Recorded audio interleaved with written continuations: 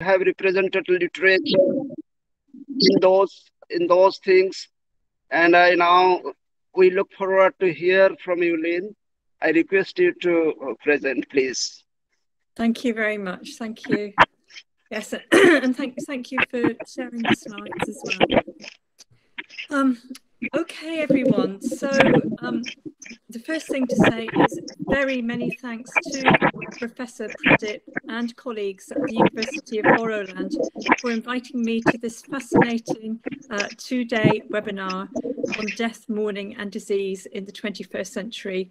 Um, obviously a topic which is very close to everybody's hearts at the present time. It's uh, a great honour to be here, especially since I too have warm memories of meeting Professor Pradip and colleagues when they attended the uh, uh, the conference at Lancaster University in 2009 uh, called Global Imaginaries. Um, this conference was the culmination of a four-year funded project on literature and migration in the city of Manchester. And it was wonderful to welcome delegates from all over the world. Um, I'm sure you can remember it was, it was a huge conference. We had about 300 participants, um, people from every corner of the globe but of course, including um, the team from uh, Bodoland. So thank you very much again for rem reminding us of, of that lovely occasion.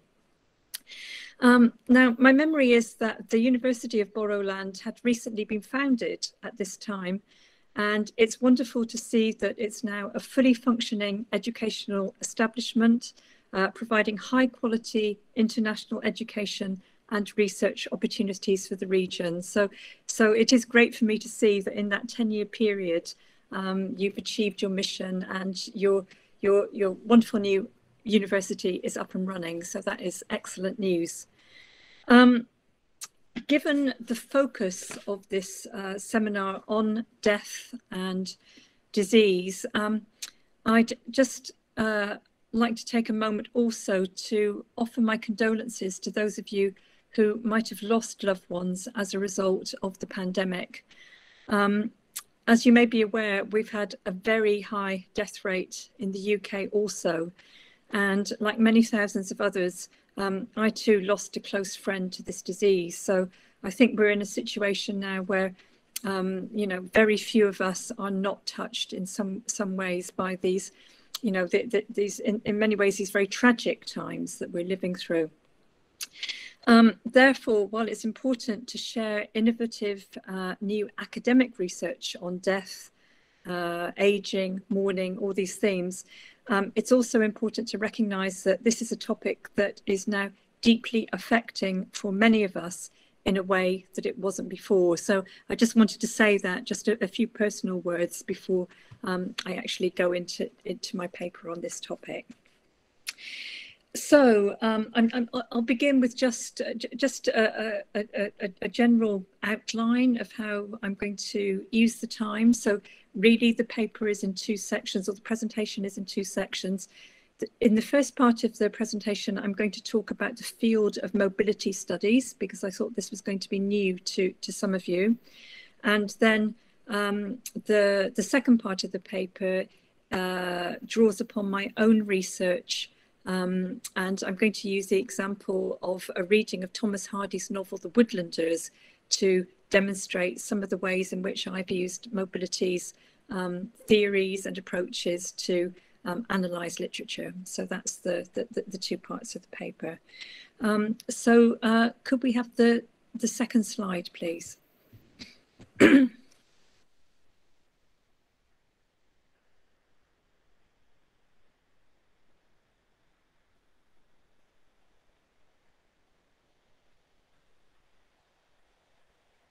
That's great. Thank you very much. Thanks. Yeah, that's perfect. Thank you. Um, so in the, the, the short time available here today, I'm going to speak to your conference theme by drawing on my recent work on the mobilities of mourning. In particular, I'll be using Thomas Hardy's 19th century novel, The Woodlanders, to demonstrate how 21st century mobility scholars, like myself, have sought to better understand the significance of movement and repetition in the rituals associated with death and mourning. So those are two, two of the key concepts that I work with, movement and repetition.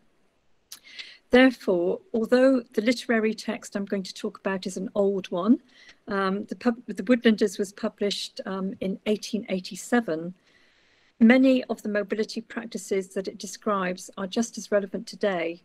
And I'm confident that there will be many fascinating um, overlaps with the death and mourning rituals practiced in South Asian religions and cultures. And I think this is going to be one of the most interesting things for you over the, the next couple of days to compare and contrast. Um, obviously, different, different practices, different traditions, but I'm hoping that through my paper, you will go on to think about the role of movement and mobility in particular in all those in all those rituals. Um, it occurred to me that uh, not all of you, or maybe not many of you, will know Thomas Hardy's novel. Um, so, so for those that, of you who don't, um, I'll just say a few words about the plot so that when I get on to talk about it, you, you can follow what's happening. Um, it's a very interesting novel. I must say it's one of my favourite uh, Hardy novels. And it revolves around uh, the love triangle that exists between uh, a young woman called Grace Melbury and her two suitors, uh, Giles Winterbourne and Edred Fitzpiers. Um, I'm sorry about the names. The names, the, the names are quite strange even in English, but um, you'll see that when I go on to talk about the novel, I, I, tend to use the first names of the characters because they're a bit easier. So we've got we've got Grace, um, and then we've got Giles and Edred. Um, Giles loves Grace, but Grace's early affection for him wanes when she is courted by Edred Fitzpiers, a young doctor who comes to live in the village. And uh, they eventually marry. But a second uh, covert uh, romantic subplot revolves around another woman's love for Giles. And this is Marty South, uh, a young woman who works in the forest alongside Giles. So she, she's part of the, the Giles and Marty are part of the, the labouring classes that work in the forest doing all the, the forest industry and labour one of the most distinctive features of the Woodlanders is the uh, uh, what's referred to as the Shakespearean unity of time and place in which the action takes place. Uh, the woodlands of Little Hintock um, are a unique environmental and cultural microcosm with ancient traditions uh, completely cut off from the rest of the world. The men and women who live there share ancient working practices that have been handed down for centuries, and the industrialized Victorian world has yet to intrude. So it's um, it's a fascinating novel in any number of ways, but uh, in particular the way in which Hardy conjures up this this uh, you know, vivid picture of um, a community and culture which is is is very much isolated from contemporary uh, Victorian life. So um, going on to say a bit more about the context for this research, um, the specific context for these reflections on one of Hardy's most fascinating novels is my recent and ongoing research on the way in which the mobilities associated with love and courtship are a continuation of those associated with death. So I'm actually making a connection with the type of movement and mobilities that we're engaged in during courtship practice and those which are involved in the rituals of death and mourning. Um, indeed, the central thesis of my recent book on this topic, Mobility, Memory and the Life Course, is that mobilities of different kinds are not only generative and defining of intimate relationships, but they often feature in the habits and routines we adopt to mourn the loss of a loved one. So I'm looking at some mirroring really between the early stages of a relationship and the end of a relationship. In other words, the tracks, both literal and symbolic, that we lay down at the start of a close personal relationship, be this a marriage or indeed a close friendship, uh, stay with us forever. In Hardy's novel, the tangled relationships of three characters, Grace Melbury, Giles Winterbourne, and Marty South, are illustrative of just these sorts of recursive mobilities, whereby couples and families return to the same places throughout their lifetimes, and also demonstrates how many of the most personal mourning rituals may remain invisible to the rest of the world. And that's uh, really a, a, another theme of what I want to talk about today the contrasting uh, visibility and invisibility of death and mourning practices. However, before I proceed with this exploration of death and mourning uh, in Hardy's novel, um, I'd like to begin today by introducing you, excuse me, to the field of mobilities research and the theoretical and methodological approaches that have informed my work for the past decade or so.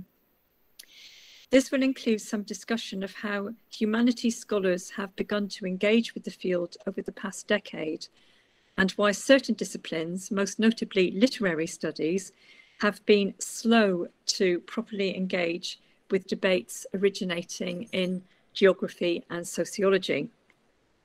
Um, I'm aware that the audience I'm speaking to here today is a very interdisciplinary one. Um, Professor Pradip told me that there would be people participating from many, many different um, academic areas and, and disciplines. Um, but I know that it also includes colleagues such as Professor Pradip and his team specialising in English literature. So I trust this will be of particular interest and hopefully inspire some of you to get involved in mobilities research yourselves. Uh, so could I have the next slide, please?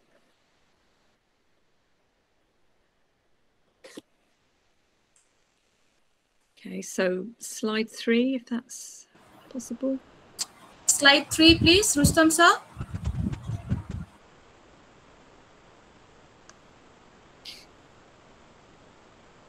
Yes. Okay, lovely, thank you.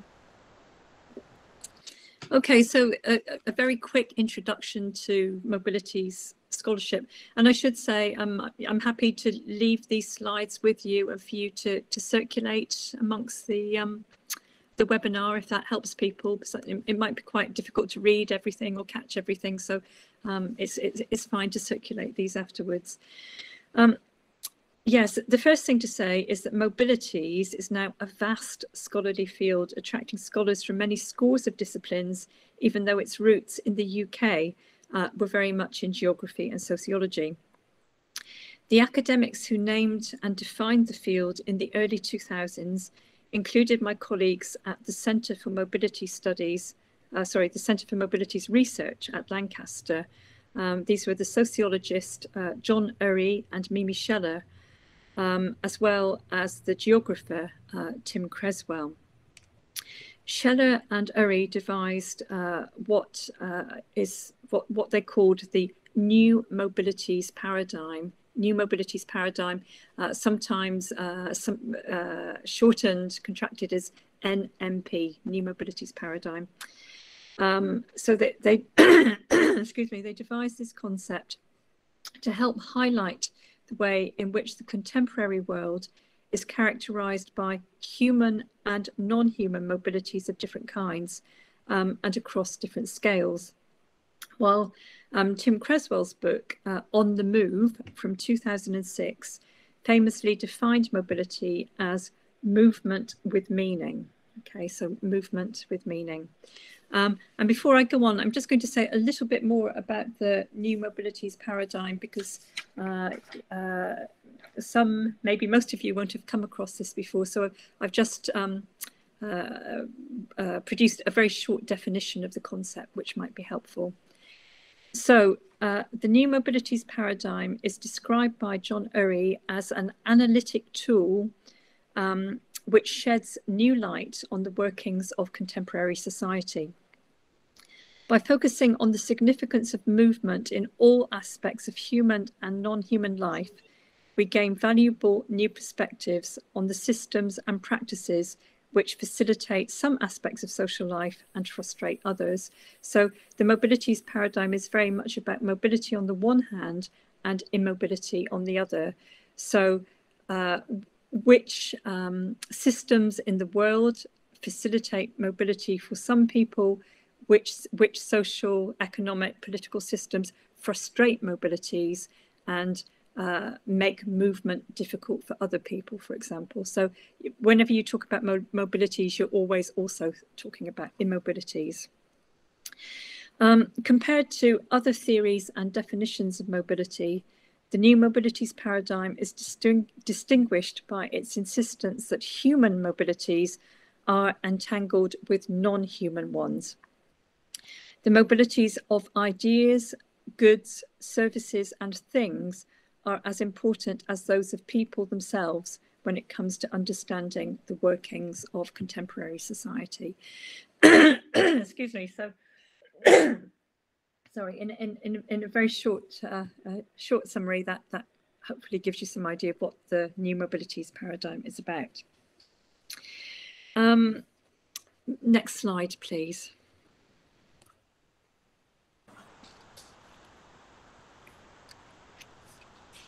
Rustam sir, next slide, please. Thank you. Thanks. Rustam sir, next slide, please.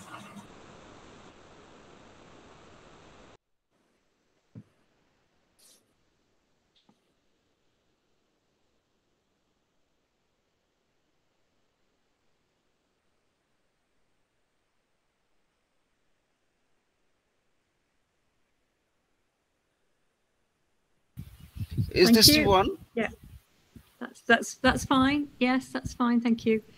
Um, Okay, thank you. Yeah. Uh, since then, scholars from a- around the world, so when I say since then, I mean since the early 2000s, since the early 2000s, scholars from around the world have helped develop the theories and fashion the debates inspired by this early scholarship.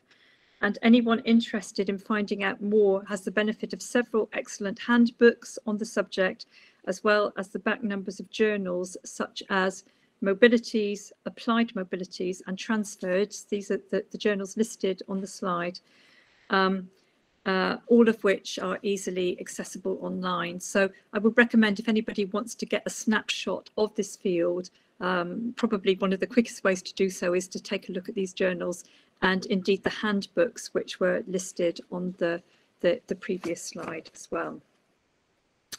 Um, next slide, please.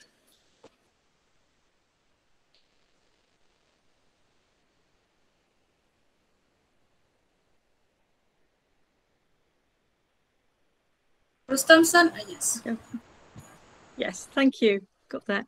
So at CeMoRe, so this is the Centre for Mobilities Research um, at Lancaster, which I'm involved in, and indeed which John Urry and Mimi Sheller founded in 2003.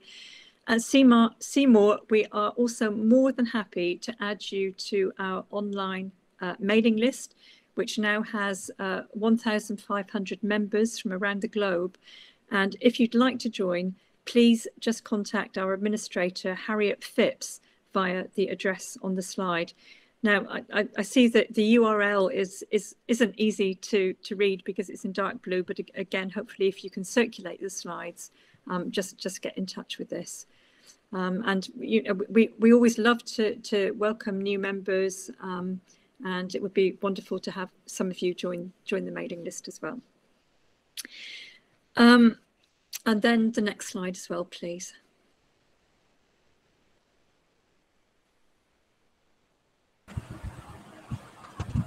Next slide, please. Rustam sir.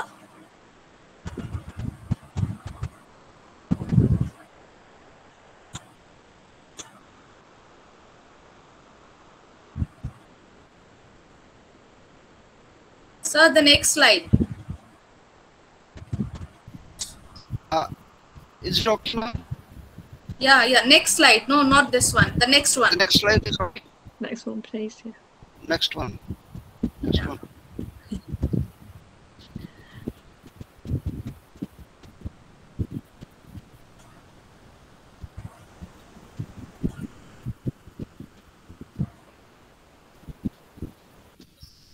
Uh, is this the one? No, no, not yeah. this one. The next one. Ne next no, one. Not this one. Next, next, next, next. Yeah. Next, maybe. Uh, uh,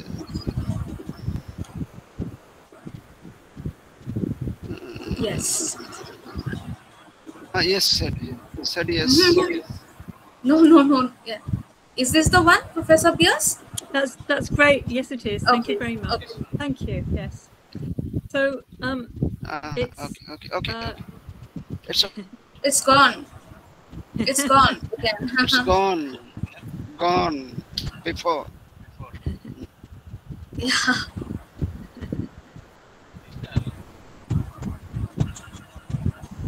that's it.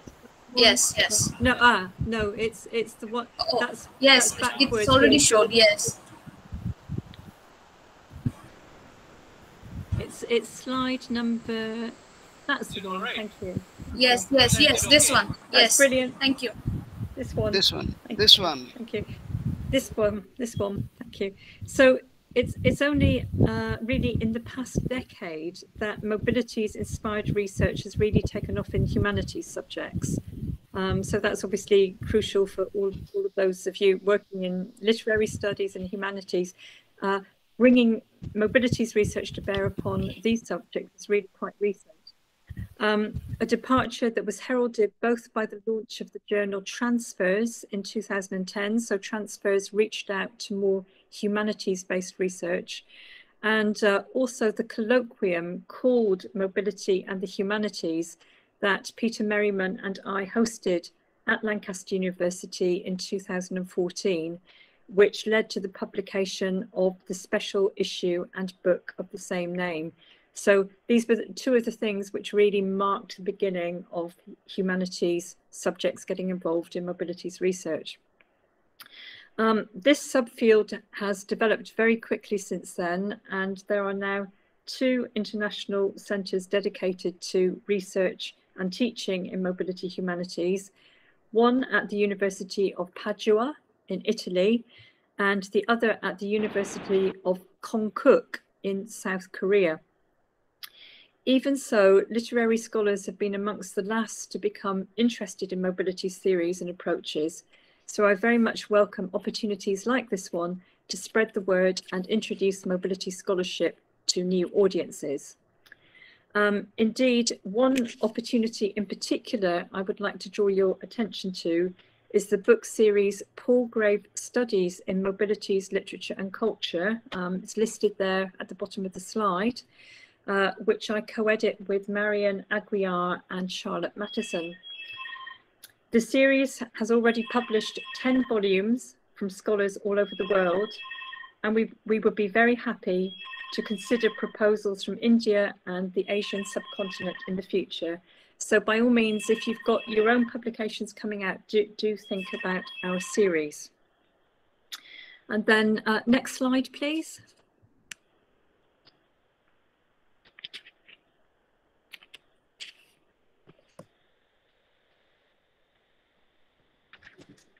Okay, next slide. Thank you. Rustam sir, next slide, please. Yes. Thank you. Thank you. Ah, I think I think we- we might have jumped two ahead there. Yeah, we have skipped. Yeah, we, we got back one if you can, please. Rustam sir. Yeah. I think this is the one. Yes. No, no, no The ne- next one.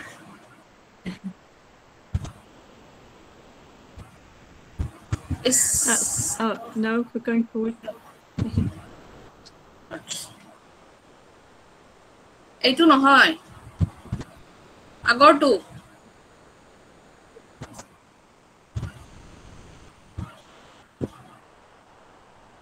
This is not the one. No, No. we- th- th- that's the one. This one here. Thank you very much. That's the one. Okay. Thank yes, yes, this. Okay. So just just a few words specifically on mobilities and literary studies before I move on to the main part of my paper on Thomas Hardy's novel. So the first thing to say here is that there is something of a paradox at work. Um, literary scholars and text-based research most certainly informed the beginnings of mobilities research through classic mobility-focused publications such as uh, Karen oh, I think we might have moved backwards again, but never mind. Karen Kaplan's Questions of Travel and Mary Louise Pratt's Imperial Eyes, Travel Writing and Transculturalism, as well as through the post-structuralist literary theory that was the prerequisite for thinking about subjectivity, space and place in new and interesting ways. Further, post-colonial studies played a crucial role in helping scholars better understand the way in which people, goods and politics circulate in the contemporary world, especially with respect to migration. So important to recognize here that um, a lot of literary and literary cultural studies really predated um, and, and informed the beginnings of mobilities research. Uh, yet it is, I think, partly because post colonialism in particular has become such a huge and well established field uh, within literary studies in its own right that scholars working there haven't chosen to engage with mobilities research until recently. And I'm, I'm, I'm sure that this will apply to many of you, um, uh, both researchers and students. Uh, you know, post, post post-colonial studies has been huge for a long time and in some ways it's dominated literary research to such an extent that I think there really wasn't an appetite to engage with with yet another field. Uh, and I think for a long time there was a bit of a misconception that mobilities research was so social science focused that it wouldn't actually help very much with um, textual analysis.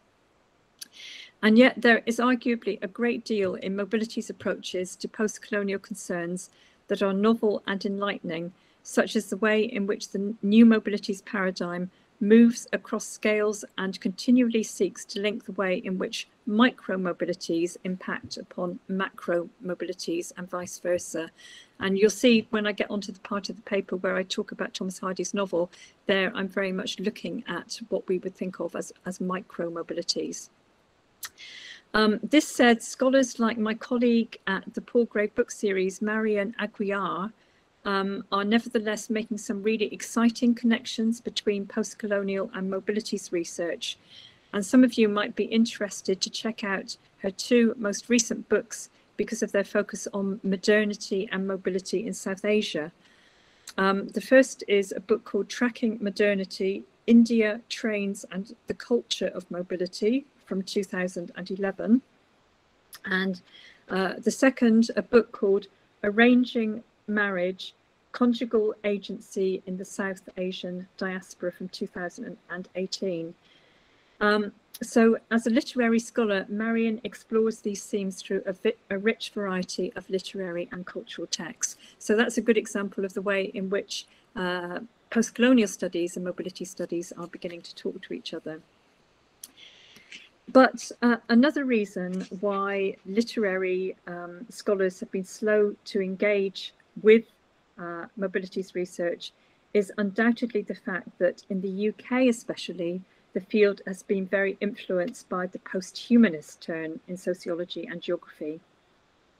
Now, while there is of course a great deal of interest in post-humanism within literary studies itself, there remains, I think, a fundamental tension between research which is focused on the human subject, as most literary scholarship still is. I think we're probably all agreed on that, and that which seeks to actively decenter human experience in order to explore the world in a, in a, a rather less um, uh, uh, androcentric way. The work of my mobilities colleagues at Lancaster has developed alongside the rise of um, an approach known as actor network theory. I'm not sure if people will have come across this. Actor network theory, sometimes contracted as ANT, A-N-T. Um, uh, a, a, a post-humanist approach established by John Law and Bruno Latour in the early 2000s and the new mobilities paradigm, as conceptualized by Sheller and Urry in 2006, uh, uh, likewise makes clear that we should attend to the mobilities of goods, finance, commodities, and data, as well as people. So this idea that we should take the human and the non-human together uh, owes a lot to these, these theories, uh, these post-humanist theories, and in particular, actor network theory. So these new approaches have led to some incredibly rich and powerful analysis of the way in which the human and the non-human world interact. But the approach also creates problems for those of us who retain a deep interest and fascination in human psychology, as many literary scholars do, um, including the workings of memory, uh, I guess the workings of memory and the imagination. Indeed, in my own work, I've had to struggle quite hard at times to make the two, the two approaches speak to one another. And uh, it's, it's therefore not, not perhaps surprising that none of the books that we've published uh, so far in the Mobilities Literature and Culture book series adopts a post-humanist approach and the authors prefer to engage with the concept of mobilities conceptually and thematically rather than via, via the new mobilities paradigm. So just just laying down here some of the the the, the, the things in a sense which have prevented literary scholars perhaps engaging with mobility scholarships more than they have so far. Um, in all the presentations I make on this subject, I nevertheless encourage scholars working in the humanities to try and make the connections between their research and that of the sociologists and geographers who, who have led the field in recent years, since it's through these encounters that we have the potential to bring something fresh and original to the analysis of movement and mobility of every kind. So I, I think the, the, the, new breakthrough research will really depend precisely on bringing, uh, bringing these, these different um, approaches together. Okay, then, so I, I, now move on to the second part um, uh, of my paper, where I'll share with you an example of how exploring a literary text through a mobilities framework led to some interesting new insights for me uh, into the crucial role that movement plays in defining our relationships with others. So this is where I move on to talk about um, Hardy's novel. So uh, next slide, please.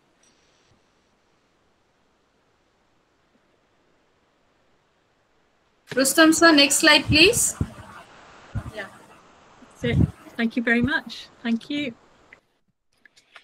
So, um, yes, the mobilities of mourning, thinking about this through Hardy's The Woodlanders. So I'm going to begin with um, a description of Thomas Hardy's funeral, um, which is taken from my viewing of a fairly extraordinary uh, film of the event. So although Thomas Hardy was buried in uh, 1928, there is news footage of this event. And if you're interested, you can view this on YouTube. Um, I don't have the URL for it, but it, it, won't be difficult to find. You just do a Google search, Thomas Hardy funeral, and you can now see a YouTube film of his of his funeral in 1928. So I'm just going to say a few words about this. One of the uh, more unexpected items now to be found on YouTube is the Pathé News film reel of the funeral of the British novelist Thomas Hardy in 1928. The event was an unusual one, even at the time, inasmuch as Thomas Hardy had requested that his body and his heart be buried in two separate locations. So, body in one place, heart in the other and he wanted his heart to be buried in Stinsford Churchyard um, in Dorsetshire, uh, sorry, near Dorchester, where, where he lived.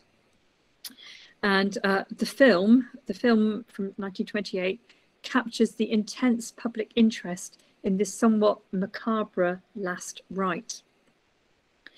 While the funeral procession, with the priest carrying the heart in a square box, exits the, exits the church in an orderly fashion. The vast crowds which filled the churchyard jostle for position, and those lining the church path to the right are clearly distracted by a disturbance off camera. We then glimpse a policeman vainly attempting to restore order before the crowd surges forward like a tidal wave once the cortege has passed.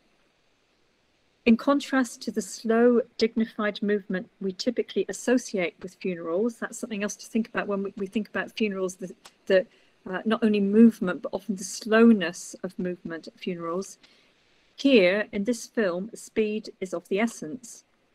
Look again, and you'll notice one of the elderly men in the cortege swiftly overtakes his fellows in order to get to the head of the procession, while on the outskirts of the cemetery, figures may be seen running around the back of the crowd in order to gain a better view. The burial of the heart takes place under a large tree, but for the camera doing the filming, the ceremony itself is obscured by the huge crowd that closes in around the scene. Deeply fascinating for any number of reasons, what makes this one minute film so compelling for me is the glimpse it provides of the mobilities associated with funerals in Britain in the early years of the 20th century.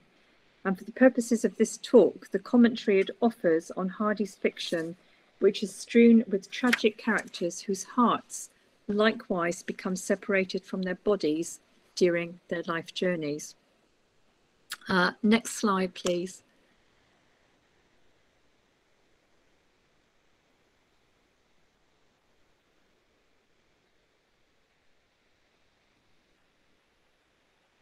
Okay, so next slide, please. There we are. Thank you. Thank you. That's great. Um, in his book, Lines, uh, the anthropologist Tim Ingold draws a particular distinction between the additive and reductive ways in which lines are formed in the landscape, the second of which is of particular significance in the mobilities reading of Hardy's novel. So I'm, I'm just going to read to you what, what Ingold says about lines. He says, lines that are scratched, scored or etched into a surface are reductive, since in this case they are formed by the removal of material from the surface itself. Like threads, traces abound in the non-human world. They mostly result from the movement of animals, appearing as paths or tracks. Human beings also leave reductive traces in the landscape through frequent movement along the same route, on foot or on horseback, and more recently by wheeled vehicles. So he's ref reflecting on, uh, just very simply but quite profoundly, on the way in which all of us leave marks on the landscape. As well as reminding us that the laying down of tracks in a landscape is something that both human and non-human animals share, Ingold's observation alerts us to the way in which um, tracks are one of the most material and lasting expressions of repetitive movement. Excuse me. When a track forms between one place and another, it exposes what is undeniably a significant connection be between two between the two and is thus a powerful tool through which to gauge the seriousness of our intimate relationships. Although in the contemporary world our feet may leave no trace as they glide invisibly over concrete, tarmac, carpet, and other post industrial surfaces, were we to mark them with indelible ink, they would in an instant reveal which people and which places matter to us most and that's worth all of us having a think about. If you think, which are the routes we make most every day? Um, our tracks tell us something very profound about uh, who are the most important people in our lives, which are the most important places. In The Woodlanders, we witness characters making tracks, following tracks, reading tracks, and memorializing tracks, and all in the pursuit or defense of love. The human subject at the centre of all this track making and route finding is Grace Melbury, a young woman of marriageable age, educated by her yeoman father for better things, who is re relentlessly tracked down in the course of the novel, not only by her two suitors, Giles and Edred, but also by her father. Um, and next slide, please.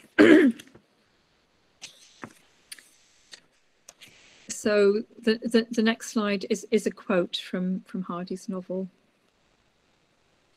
Oh, thank you. There, lovely, thank you. So, quote from the novel Some flecks of Grace's white drapery had enabled Giles to keep Grace and her father in view all the time, but now he, excuse me, he lost sight of them and was obliged to follow by ears. Was it worth to go further? He examined the doughty soil at the foot of the stile and saw amongst the large sole and heel tracks an impression of a slighter kind from a boot that was obviously not local. and the mud picture was enough to make him swing himself over the stile and proceed. So, an example of a character literally reading the tracks, the marks in the landscape. Elsewhere, however, um, the long established woodland tracks that the protagonists follow and renew are palpable expressions of ancient connections between families and individuals who have lived and worked together for generations. Indeed, what distinguishes the native woodlanders from outsiders in the environs of Little Hintock is their ability to find their way about the maze of paths, lanes, and shortcuts without getting lost. This sort of knowledge and the patterns of movement it gives rise to also characterises the relationship between Giles Winterbourne and an, another woman, Marty South, a fellow woodlander whom he has worked alongside since childhood. Because Winterbourne's desire is focused on Grace, he never realizes that Marty has always been in love with him and fails to recognize their special intimacy. The philosopher Henri Bergson would explain such haptic knowledge, that is, knowledge of the body, in terms of the habit memory of the body in contrast to the deliberations of the conscious mind. So, memory of the body versus memory of the mind. Uh, which brings me to a consideration of how Maurice Merleau-Ponty's concept of the body subject can help us better understand the mobilities that sustain long-term relationships and inform the rituals associated with mourning. So ne next slide, please. Excuse me. That's it, lovely, thank you. Um, were an anthropologist such as Tim Ingold able to visit the fictional microcosm of Little Hintock and undertake a scientific investigation of the footprints and tracks that crisscross its environs, one well trodden path that would surely come to his attention is the one that connects Marty South and Giles Winterbourne's residences. Long regarded by Hardy critics as one another's double, these two native woodlanders are custodians of Hintock's forestry practices and their associated mobilities, the century-long knowledge involved in planting, coppicing, harvesting, felling, and wood turning. The way in which the two work so effortlessly and instinctively at their tasks and with one another is also exemplary of Damon's, David Seamon's account of how body subjects come to perform their body ballets. So two concepts here, the body subject and the body ballet. And for my purposes is illustrative of a particular order of intimacy that is profoundly at odds with the conscious premeditated actions of courtship and which is arguably an essential ingredient for the success of long-term relationships. Merleau-Ponty's concept of the body subject, which arose from his work on perception as part of a radical challenge to uh, Cartesian mind-body dualism, is based on the notion that there is no finite distinction between the subject and the world. Rather, the world is known through the body via its habitual everyday motor skills, most of which are expressed as mobilities of some kind. So we know the world through the body. Um, as David Seamon observes, quote, the body holds within itself an active intentional capacity which ultimately knows in its own special fashion the everyday spaces in which the person lives his typical day. In Hardy's novel, the character of Marty South is defined by her fluent, elegant performance of this haptic knowledge, as illustrated in the following portrait of her in the opening pages. So next slide, please.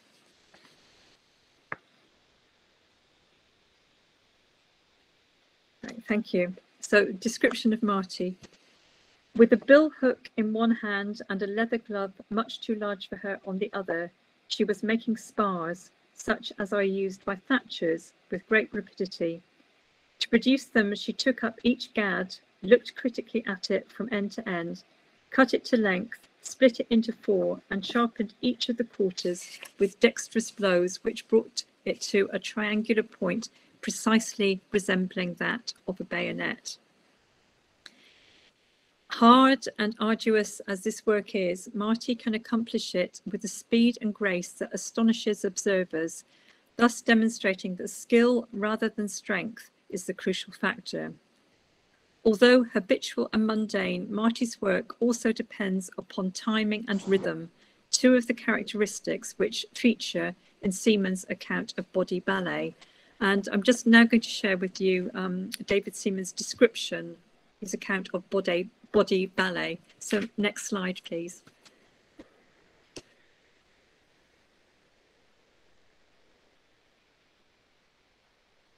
Lovely, thank you. So body ballet. Body ballet is a, a, set of integrated gestures and movements which sustain a particular task or aim. Body ballets are frequently an integral part of manual skill or artistic talent. For example, washing dishes, ploughing, house building, uh, hunting or potting. Uh, also, operating an ice cream truck can involve body ballet and he, he describes the movements involved in uh, selling ice cream. Taking orders, scooping ice cream, making change all involve a pattern and flow that quickly becomes routine. Words like flow and rhythm indicate the body ballet is organic and integrated rather than stepwise and fragmentary. So, for my work on the mobilities that inform our interpersonal relationships, um, the concept of body ballet becomes especially interesting when used to explain the special, often unseen bond between two people when they go about their everyday tasks. While the bodily synergies are not um, necessarily a mark of love or erotic intimacy, it could be said that they are its prerequisite. In the fictional world of the Woodlanders, Marty and Giles are seen moving about one another with a fluidity and ease that is presented by Hardy as unconscious, but which is, I would argue, rather more than the functional expression of uh, Merleau-Ponty's motor skills or what Hardy himself refers to in the novel as secondary intelligence. The connotation of dance is perhaps the crucial supplement here. The body subjects of Marty and Giles anticipate and mirror one another's actions in ways that are as aesthetic as they are instrumental, as illustrated in the following tree planting episode. So next slide, please.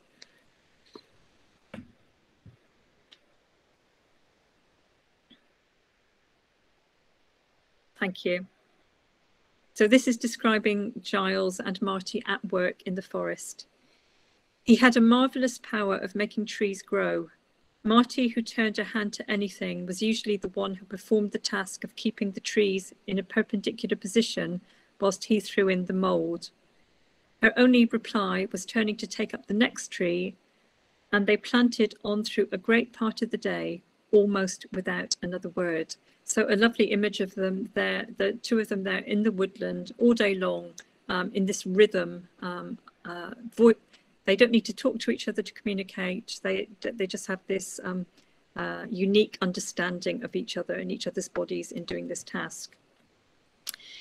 Elsewhere in the novel, the embodied and kinesthetic empathy that exists between Giles and Marty's body subjects is seen not in their work, but simply in the way they move about one another.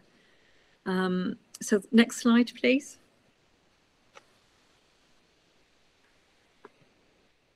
Thank you. They went out and walked together. They had no remarks to make to each other, and they uttered none. Hardly anything could be more isolated or more self contained than the lives of these two here in the lonely hour before day, when grey shades, material and mental, are so very grey. Although not advertised as such, these wordless walks may be seen as a courtship ritual of sorts, especially given that Marty, for all her silence, is deeply in love with Giles. It is also a mode and manner of mobility that is singularly lacking in both Giles and Edred Fitzpiers' courtship of Grace. The significance of this contrast, moreover, relates not only to the success of a courtship, but also our capacity to remember and mourn our loved ones when they are lost to us, and I now turn to the third and final section of my paper, in which I reflect upon the manner in which Marty grieves for Giles after his untimely death while he is trying to protect Grace. So now a few words explicitly on the mobilities of mourning. So um, as I've discussed elsewhere, the ending of Hardy's novel centres on Giles' sacrifice. He offers Grace Fitzpiers the shelter of his hut when she is cast out of her father's home on account of her husband's infidelity and her own subsequent association with Giles. In order to avoid compromising her reputation still further, Giles refuses to share the hut with her and during a cold spell catches pneumonia and dies. In the weeks and months immediately following this tragedy, Grace and Marty come together in their mourning of Giles. So um, they've uh, they've they've both loved Giles at different times in their lives, and, and now come together in their their mourning of him. So so next slide, please.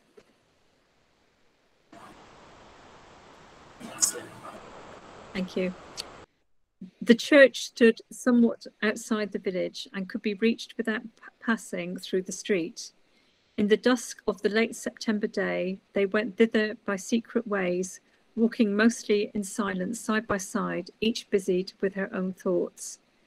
They stood at the grave together, and though the sun had gone down, they could get glimpses of the woodland for miles. So, in terms of the mobility practices I discuss in my article, Trackless Mourning, this scenario is both familiar and unique. Familiar in as much as the deep mourning for lost loved ones is in part a private and invisible act, uh, iterated here in the, in the phrase, they went by secret ways, but also unique in as much as two women are sharing and grieving the memorialization together. Geography is important here too, since the distance of the churchyard from the village facilitates the ceremony and, of course, replicates the route taken by the funeral procession itself. Following Grace's reconciliation with her erring husband, however, Marty is left to continue the, to continue the weekly ritual on her own. The novel marks the occasion when Grace first forgets to turn up by referring to Grace as Marty's uh, fellow pilgrim, and in so doing foregrounds the crucial role that walking has played in the expressing in the expression of this mourning ritual. Our final image of Marty, however, connects her with Giles through the everyday mobility practices they shared as skilled woodlanders and demonstrates most evocative, evocatively uh, Henri Bergson's theory of how embodied memory is activated by pra practical necessity uh, next slide, please.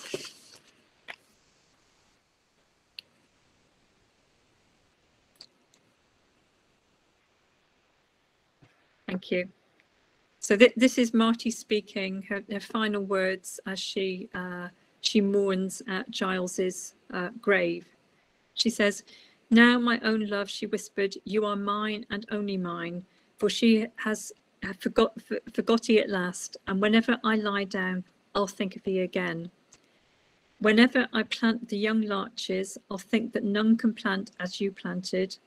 And whenever I split a gad, and whenever I turn the cider ring, I'll say none could do it like you. If ever I forget your name, let me forget home and heaven. But know, my love, I can never forget ye, for you was a good man and did good things. So uh, we can see from this that Marty will remember Giles every time she reenacts a skill uh, that he was expert in, and in the process finds solace in fusing with or becoming the person that she's loved and lost. Um, a perfect example, I think, of how mobility is integral to both memory and mourning in its non-representality uh, and uh, often invisible to others. Um, and then if, we, if we've got time, some just very final final thoughts. Are we okay for time? Yeah? Yes, ma'am, please go ahead. Yes. Okay, just, fine, just two, two minutes, thank you.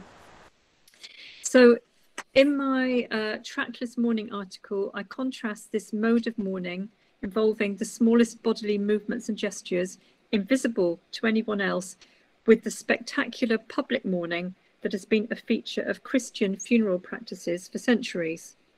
Uh, next slide, please. With reference to William Faulkner's novel from the 1930s, As I Lay Dying, I demonstrate the way in which the mobilities involved in Christian burial appear to make the process as visible and protracted as possible, deliberately trying to make it a really long, slow, lengthy process. And I know from the little I do know that that is so different, for example, from uh, a, a, Hindu funeral, which has to happen very quickly, I think within 24 hours. In the Christian tradition, the emphasis seems to have been on making it as long as possible. For those of you not familiar with Faulkner's novel, the story revolves around a quest to bury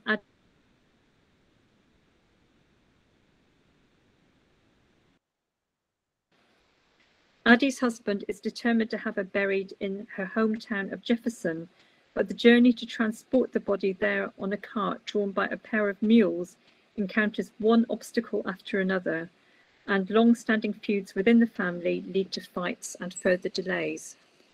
This means that by the time the family finally arrives in Jefferson, Addie's corpse has been on the road for several days and in the hot weather is beginning to decompose. The description of the cortege arriving at the outskirts of the city captures something of the horror and ridiculousness of this. The journey should never, never have taken this long had the family members thought of Addie, the deceased person, rather than themselves. Um, and uh, I'll, I'll, just just read the, the last part of this quote. Um, this is one of the characters speaking, uh, or two of the two of the characters in conversation. So Vardaman says, "Is that it, Darl? Is that Jefferson? He too has lost flesh, like ours. His face and expression strained, dreamy, and gaunt. Yes, I say. He lifts his head and looks at, at the sky. High above it, uh, the vultures hang in narrowing circles like the smoke, with outward resemblance of form and purpose, but with no inference of motion, progress, or retrograde. So a really evocative image there of immobility. Um, and this this image captures how um, how protracted, how frustrating this journey has been to get Addie buried. Uh, quote goes on, we mount the wagon where Cash lies on the box, that, in, that is on his mother's coffin, the jagged shards of cement cracked about his leg. The shabby mules droop, rattling and clanking down the hill. So a grim and grotesque image of this funeral procession finally arriving in Jefferson several days late. Um, Faulkner's novel must, of course, be seen as a, a, deliberately grotesque parody of the mobilities which see the deceased moved quite unnecessarily from one place to another until they are finally laid to rest. However, this highly staged ceremony dating back to ambrosial Catholic rituals from the 8th and 9th century AD persist largely unnoticed in Christian funerals in the West in the 21st century. While very occasionally the deceased person might be delivered straight from the family home or hospital to the church or crematorium, it's still much more usual for the, for the body to be sent on a journey from the place of death to a chapel of rest and then onto the church, sometimes with an overnight stay at the, at the family home on the way. As I discuss in my article, the reason why this long journey continues to be such a feature of funerals in the West is probably best explained uh, through the opportunity it affords the bereaved to perform uh, to perform their grief through a pilgrimage of sorts. Indeed, in some parts of the UK, families still choose to walk behind the coffin on the way to church. Um, interestingly, a practice that became popular again, that has become popular again during the pandemic, when the numbers attending church services um, has been limited. So we've been seeing more of people um, actually following the coffin on its journey. However, there can be no question that um, such protracted, uh, delayed uh, um, uh, journeys also perform the role of making mourning more visible and spectacular and is therefore in stark contrast to the invisible mourning practiced by Marty South in Hardy's novel. Um, in all types of mourning, movement and mobility nevertheless plays a crucial role, and a close attention to this sort of distinction can be immensely helpful, I think, in bringing cultural and historical differences to light and also documenting how the practices associated with death and mourning are changing today. So, um, uh, final slide, please. Uh, I'll end there. Um, I've come to the end of my talk. Um, I hope this talk uh, will have sparked some interesting discussion points for your webinar. Um, although I've limited knowledge of funeral and mourning practices in other cultures, I'm confident that mobilities of some kind will play a role in all of them. Um, be these the small and silent gestures of the bereaved family members or the large public ceremonies to which mourners might have travelled many hundreds of miles. Uh, finally, um, yes, on this last slide, finally, if you're interested in this topic, I also recommend that you take a look at the work of the British geographer Avril Maddrell, who's written extensively on grief and mourning within a mobility framework and whose work has inspired my own. So thank you very much indeed for inviting me to speak to you. And please do get in touch via email if you've got any further questions. And as I said before, we would be delighted for any of you to join our uh, mobilities uh, mailing list at the Centre for Mobilities Research in Lancaster. So thank you very much indeed. Thank you.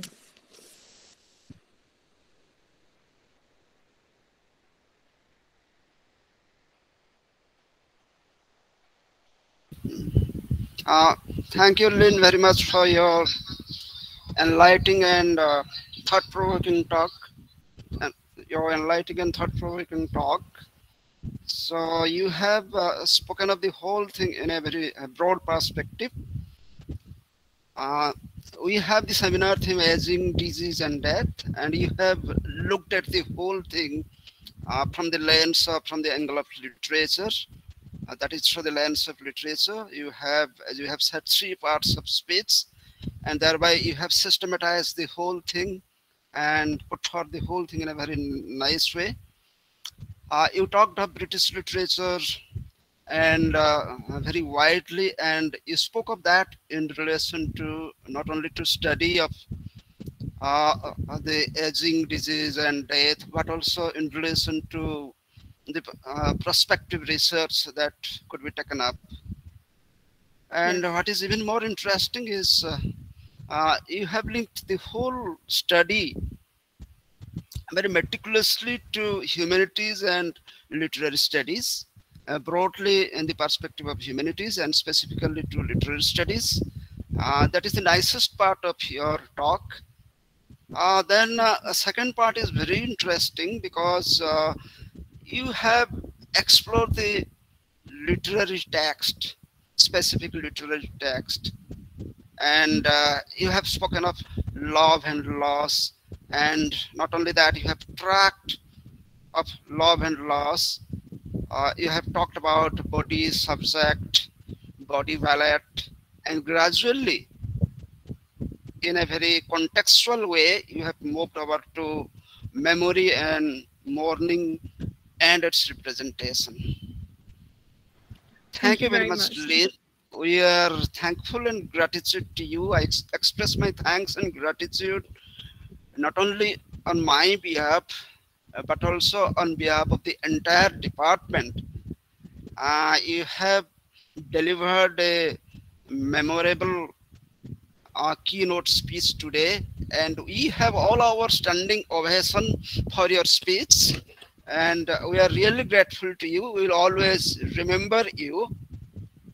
And thank you so much, Lynne. We will be in touch with you.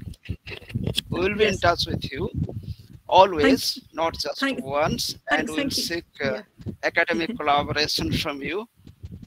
Thank you so much. Thank you so much for inviting me, and it, has been wonderful to make contact again after after ten years, and we we, we will yeah, stay in yeah. touch and, and come to come to Lancaster again in the future. Sure, sure, sure, sure. thank thank you very thank much. You thank so you. Thank you. Thank you. Bye bye. Bye. Thank you. Bye bye. Uh, so uh, thank you, uh, Professor Pearce, for giving us your valuable time and delivering this wonderful keynote address. And uh, thank you, Professor Patra, for chairing this session and also giving us you know uh, uh some you know uh, some valuable remarks on on the lecture that Professor Pearce just delivered. So thank you for doing that. Yeah, thank you so much, Thank both you. of you. Thank you very much. Thank you. Bye bye then. Thank you. Bye bye. So uh, we uh, so it's uh, so the keynote uh, address is over, and now we will be uh, moving on to our first technical session. So uh, the first technical session will be delivered, uh, will be chaired by sorry, will be chaired by Dr. Khagendra Sethi. He is assistant professor uh, in the Department of English.